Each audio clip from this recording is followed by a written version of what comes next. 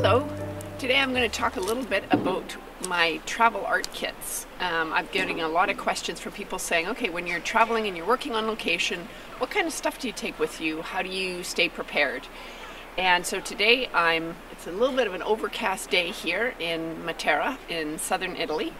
Um, and I thought I'd share what I brought along on, on this excursion. So Often I have my camera with me, so today my sketchbook and my art kit are in my camera bag. So the first thing is when I have a sketchbook for traveling, it's always a small sketchbook, but I still do like to have a, a hardcover sketchbook because that way if I'm out working on location, um, I can open this up really flat and I have a larger surface to work on so I can use it like a, a drawing board, which I really like. The other thing is with my travel sketchbooks, I usually always have the elastic cord around them because as you can see I've got an envelope back here and I've got all sorts of things whether it's coasters from cafes or you know tickets from museums and things. Then I'll glue these into my sketchbook in the evening maybe when I'm having dinner or something like that. So my little travel sketchbook. Um, of course I've got my camera in here. And this is basically my travel art kit. So in a very small um, case, I've got a lot of art supplies here. And this was actually just a case from a Clinique gift with purchase.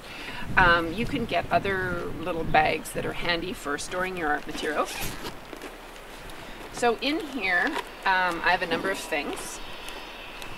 First of all, I usually try to have a couple of different ways to attach things to my sketchbook because I do collect a lot of stuff when I'm traveling. So I usually have either a small roll of masking tape or scotch tape with me and an acid-free glue stick. Then, this is one of the most important things that I love to have on location and this is uh, water-soluble graphite sticks.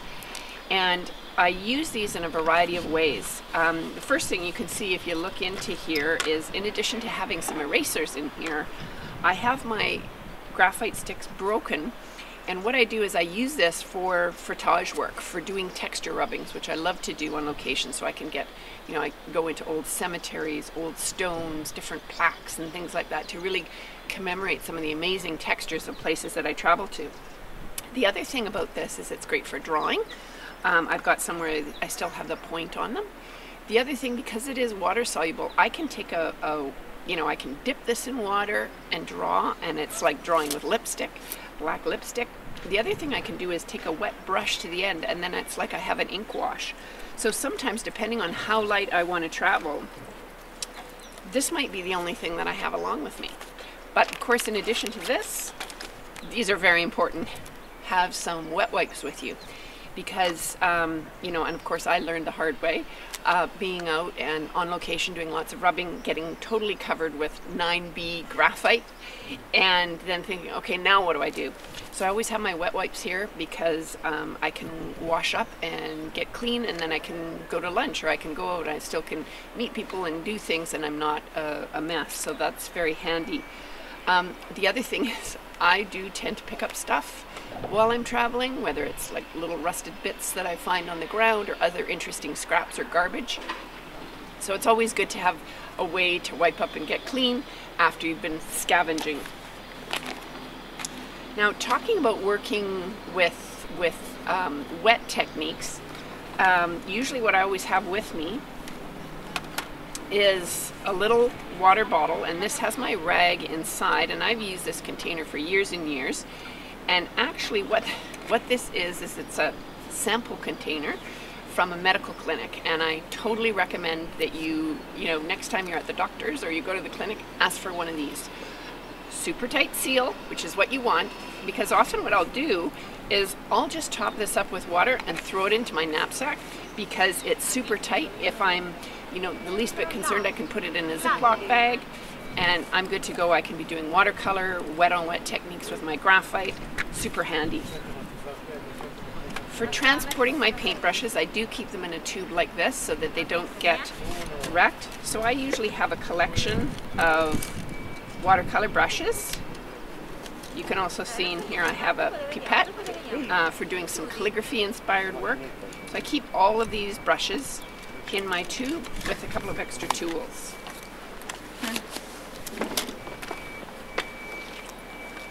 In addition to the graphite that I have, I do like to have some drawing pencils with me. And you'll see in here I also have my favorite um, color, these natural sanguine drawing pencils, which are beautiful when working on mid-tone papers.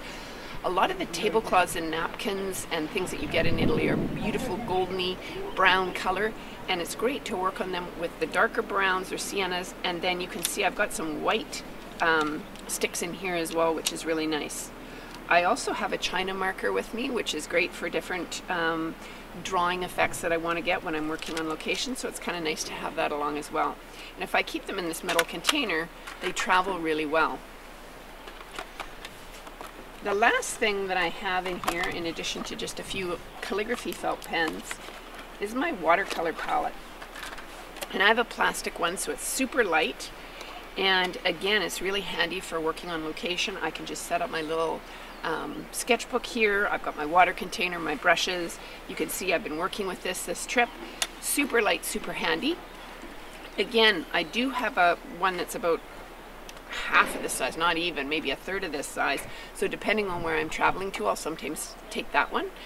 The other thing that I have done is if you actually um, use a gum package where they have those, you know, the blister packs, you can, you know, use the gum and then fill those little containers with your wells of paint, which is really handy and super affordable um, if you're just wanting to take a few colors with you on the go. So you can see in a very small space, I've got a full watercolor palette. I've got my drawing pencil set. I've got lots of calligraphy felt pens with me. I've got my wonderful water-soluble graphite sticks, water container, different glues and here, ways to adhere things, and of course my wet wipes.